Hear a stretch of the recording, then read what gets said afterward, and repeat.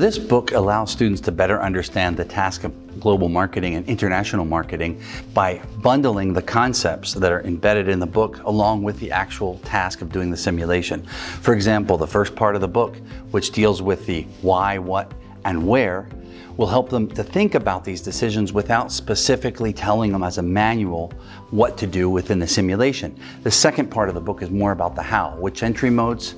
what products to take abroad, and ultimately what pricing to use, but again, without specifying for the sake of the bundled simulation. What we do to support that is a series of case studies, analytics assignments, and even some fun uh, discussion board or discussion conversations that are in the form of mini cases that are embedded in the text itself.